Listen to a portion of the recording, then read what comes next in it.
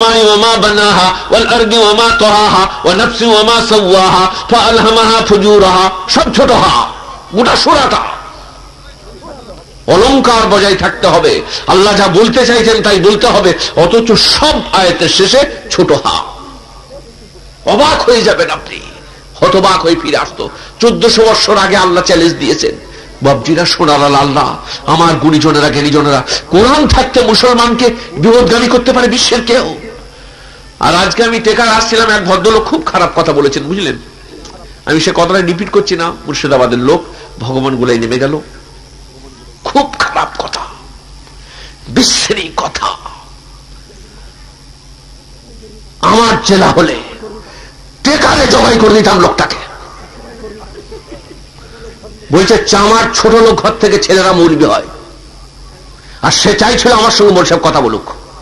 আমি কথা বলি নাই। সে আরেকজনকে শুনিয়ে বলছিল চামার ছোট লোক ঘরের ছেলেরা মরিবি হয়, এটা তার ভাষা। আমি সারা দিই নাই, কিন্তু সে চাইছিল আমার সঙ্গে কথা বলুক। কি মনে হচ্ছে আপনার? তার বাপের জানাজা কে পড়াইছে? তার বাপের জানাজা? ছোট লোক মরবি? তার জুমার নামাজের ইমামকে সে জুমা তো যায় ঈদে তো যায় যায়। সে ছোট লোকের ছোট লোক। সব বলে শোধ করতাম। কিন্তু আমি আসছি, সব শুনতে পাচ্ছি সবর ধৈর্যের সাথে এসেছি। খুব সাবধান। কোরআন যাদের আছে, তাদেরকে বক্রতায় ওলামাদের অবদান শুনে নেন। মাদ্রাসার ওলামা, কিচ্ছু করতে পারবে না খ্যাপা হোক, ফকির হোক, বোকা হোক। কেয়ামত পর্যন্ত কোরআনের জের জবরের পরিবর্তন পরিবর্তন করতে পারবে না। ওলামার বিদ্যমান যদি থাকে ওলামারা। হাফেজরা যদি বিদ্যমান থাকে, জের জবরের বাড়া কমা করতে পারবে না। বিসমিল্লাহ রহমান রাহিম, আমি আরম্ভ করে দিয়েছি, আল্লাহ কৃপাবান করুন নির্ধানের নামে। এটা মানে। আমি বলছি বিসমিল্লাহ রহমান রাহিম, আমি আমরা আরম্ভ করিতেছি আল্লাহর নামে, হরির নামে, তার নামে, এর নামে। আর আপনি বলবেন যে মানেটা ঠিক নয়, কি করে বলবেন আপনি? আলেম না থাকলে? কেয়ামত পর্যন্ত মনে রাখবেন, দিনের হেফাজত করে রেখেছে ওলামাই দিন। তা না হলে আপনার দিন কি হতো? ইহুদি খ্রিস্টানের ওল্ড টেস্টেমেন্ট, নিউ টেস্টেমেন্ট, যা দিন নয়, তাকে দিনকে দিন করে রেখেছে। খ্রিস্টানরা তাই করে রেখেছে। ইসলামের কায়ামত পর্যন্ত আল্লাহ বলেছেন, আমি হেফাজতকারী। শোনেন আপনি মৌলবী মোল্লা, তোরা কি দিনে গোলমাল করবি? কোরআন শরীফের আয়াত শোনেন। বলছে, মৌলবী, তুমি কি দিনের গোলমাল করবে? দিনের আয়াত কে বিশ্বের বাড়িয়ে দেবে? আমার কাছে আল্লাহ বলছেন, শুনে লাও কি? ওয়ালাউ তাকাওয়ালা আলাইনা বাযাল আকাবিল। ওগো নবী, তুমি আর ওগো জিব্রাইলে তুমি নিয়ে যেতে নিয়ে যেতে। আমার আয়াতের এতটুকু যদি হেরফের করে দাও। মানে ওপর থেকে মাল আস্তে আস্তে রাস্তায় যদি ভেজাল করে। জিব্রাইল আনছে না মালটা? জিবরিল আপনার কাছে পৌঁছে দেওয়ার পরে যদি বাড়া কমা করে দেন, এটা কোরআন। আমার কথার মধ্যে কিছু কথাতে যদি বাড়া কমা করা হয়, আখাযনা মিনহুল, ওয়ালাউ তাকাওয়ালা আলাইনা বাযাল আকাবিল, আখাযনা মিনহুল ইয়ামিন ওয়া কাতানা মিনহুল ওয়াতিন। আমি দক্ষিণ হস্ত ধারণ করে কণ্ঠ নালিটা ছিঁড়ে দেব। কে বলছে? আল্লাহ। জিব্রাইলকে আর নবীজিকে। ولو تقول علينا بعض الاقابيل لاخذنا منه اليمين وقطعنا منه الوتين وتين মানে হচ্ছে কণ্ঠনালী আর ইয়ামিন মানে হচ্ছে দক্ষিণ হস্ত দক্ষিণ হস্ত ধারণ করে কণ্ঠনালীটা ছিঁড়ে দেব আমার কোরআনে যদি যে জবর বাড়াবাড়ি করতে চাও আর বাড়াবাড়ি করলেই দুর্গতি এসে যাবে যেমন মির্জা গোলাম আহমদ কাদিয়ানি কোরআন শরীফের উপরে বাড়াবাড়ি আমি নবুয়ত পেয়েছি আতাউল্লাহ শাহ বুকারি রহমতুল্লাহ আলাই দেওমানের একজন বুজুর্গ আলেম আতাউল্লাহ বুখারি। তিনি তেনার জীবনীতে লিখেছেন বুঝলেন? ঠিক আছে? হ্যাঁ বলুন আসুন। আচ্ছা শাহ আতাউল্লাহ বুখারি একটা কথা বলছে শোনেন। তিনি বলছেন আমি একবার স্বপনে মির্জা গোলাম আহমদ কাদিয়ানিকে দেখলাম স্বপনে। দিয়ে আমি বললাম যে, আরে, তুমি পয়গম্বর কি করে হলে? তো বলছেন, না, দেখছেন না, আমার নাম গোলাম আহমদ আর নবীর নাম আহমদ। তো আতাউল্লাহ বোখারি বললেন, তোমার নাম তো গোলাম আহমদ, নবীর নাম তো আহমদ ছিল। তো আতাউল্লাহ বোখারি বললেন, উনি বললেন যে, আহমদ আমারা নাম হ্যাঁ মা বাপ নে গোলাম কো চিপকা দিয়া। আমার নাম আহমদ গোলামটা মা বাপরা জুড়ে দিয়েছে। তো আতাউল্লাহ বোখারি বলছেন আমি বললাম তুম पैगंबर हरगिज नहीं हो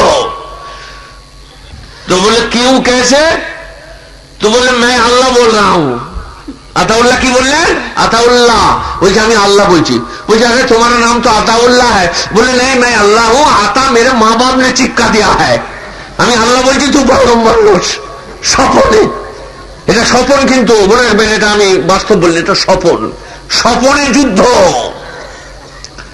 কাদিয়ানিদের, মির্জা গোলাম মোহাম্মদ কাদিয়ানির যারা ছাত্র, যারা মুরিদ, যারা সাহাবা, তারা লিখেছে যে আমাদের মির্জা গোলাম মাহমুদ কাদিয়ানি এত সাদাসিদে এত সাদাসিদে, খালি ডান পায়ে জুতো বাঁ পায়ে করে নিত। এত সাদাসিদে, ওপরকার বোতম নামতে। এত সাদাসিদে, একদিন ফজরে নামাজ পড়তে আসছে, পাগড়ি বেঁধে দিয়েছে পাগড়ি লোটন ঝুলছে, তো সেটা হচ্ছে সই কি, বুঝলেন?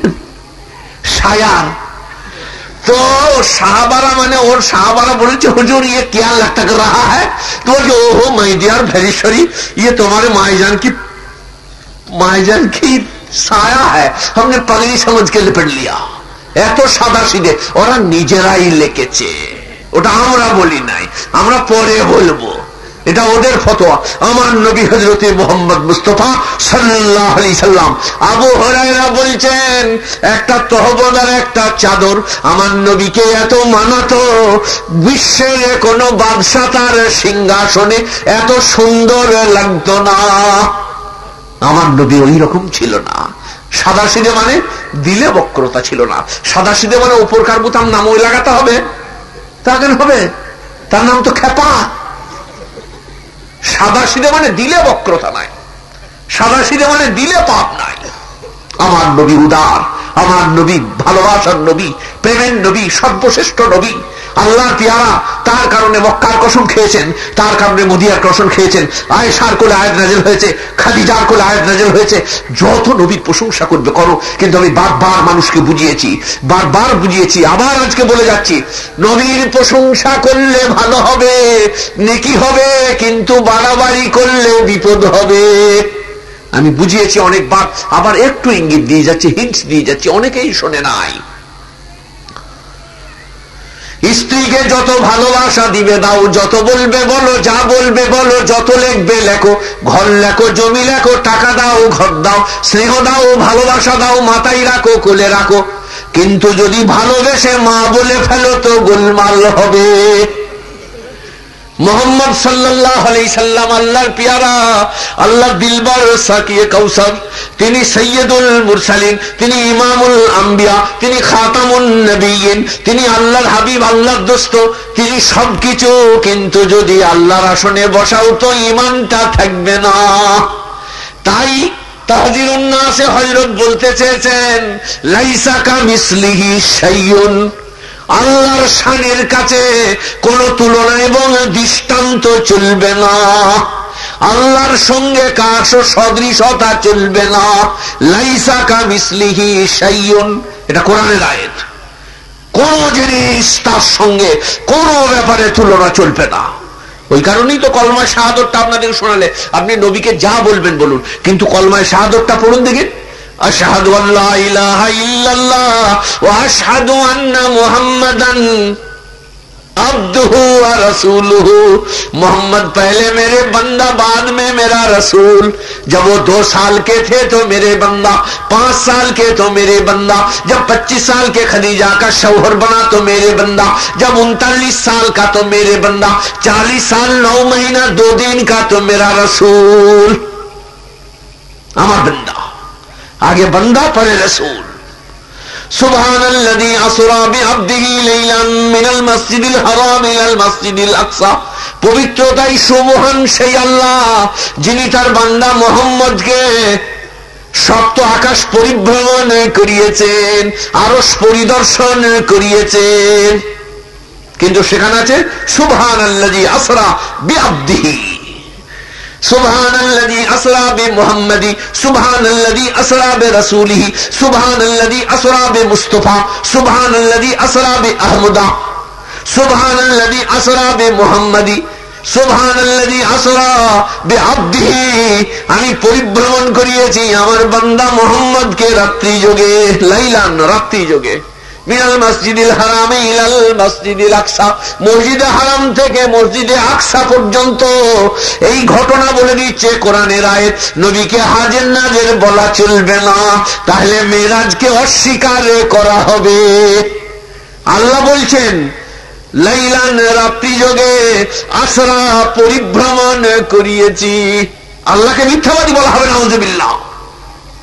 যে আমি আমার নবীকে পরিভ্রমণ করিয়েছি রাত্রি যোগে মানে মক্কা থেকে আমার আরও সেতে এনেছি।